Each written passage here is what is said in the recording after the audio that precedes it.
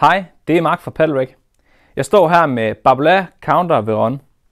Counter Veron er et cirkelformet paddlebat, det vil sige, at sweet spotet ligger i midten, og derved får du en masse kontrol. Battet her har en carbon ramme, men den har altså en overflade, der er lavet af et mix imellem carbon og øh, fiberglas. Det gør, at overfladen bliver en lille smule hårdere, men der er altså stadigvæk noget tilgivelse i slagene.